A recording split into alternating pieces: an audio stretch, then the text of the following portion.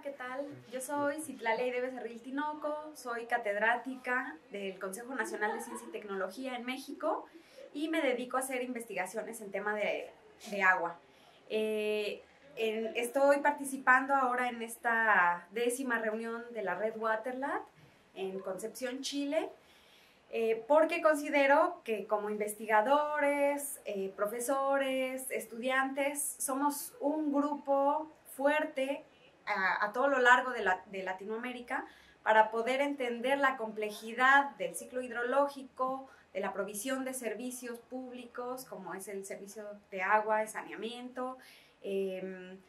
eh, diferentes aspectos que involucran recursos hídricos en todas sus dimensiones, eh, aguas superficiales, aguas subterráneas, y em, en especial estoy participando en esta reunión porque organicé un taller de trabajo en el que se unieron dos áreas temáticas, la área temática 3 y la área temática 6. Estuve en coordinación con Carolina Blanco, las dos estuvimos coordinando el taller que se llamó Gestión del Agua, eh, Vulnerabilidad, Pobreza y las resistencias y luchas por el agua.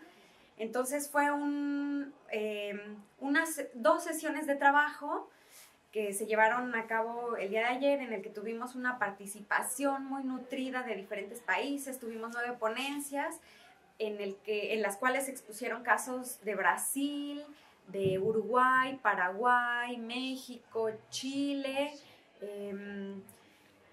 fueron como seis o siete, siete países, pero no son los únicos. En las diferentes sesiones estuvieron exponiendo casos de, diferentes partes de América Latina y esto lo que nos permite es comprender la forma en la que se gestionan los recursos para proveer un servicio, para entender eh, la multiplicidad de, actores que participan en, la gestión, en el manejo del agua a nivel comunitario, a nivel municipal, estatal, federal, eh, internacional. Y pues esto no solamente sirve para entender la problemática del agua en diferentes países, y en Latinoamérica, sino entender que también es una situación que compete a todo el mundo. Y con ello, además de que nos permite reflexionar de una manera multidisciplinaria, transdisciplinaria, nos permite plantear propuestas para ir generando eh, soluciones a las diferentes problemáticas, para no dejar, para no quedarnos solamente como receptores viendo pasar un problema o múltiples problemas, sino para entrarle de lleno y tratar de ser parte de esa solución que, se está necesitando para tener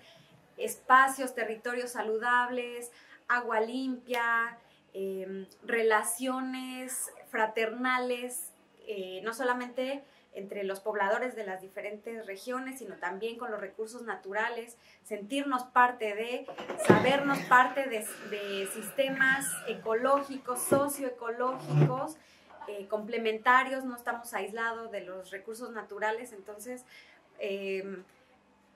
creo que somos, estoy segura que somos parte de ese grupo fuerte que, que está em, decidiendo tomar el reto de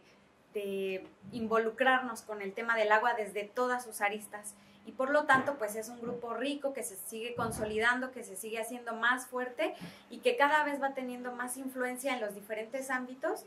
Y como resultado de eso, pues vemos la participación de compañeros y compañeras de países, de casi todos los países de Latinoamérica, del Caribe y ahora también de, de diferentes continentes pues eh, me parece que debemos seguir en esta lucha y por supuesto el gran tema general de la décima reunión, que es interseccionalidad de clase,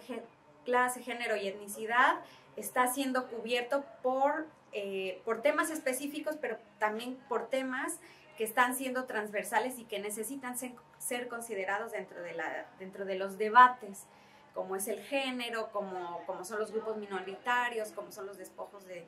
tierra y de agua, las resistencias hídricas, las luchas sociales por, em, pues por recuperar esa agua eh, de los espacios en los que vivimos. Y les agradezco, pero también los invito a, ver los diferentes videos, a, acercarse a los resúmenes, a las publicaciones que se van teniendo porque todas tienen contenidos muy enriquecedores. Gracias.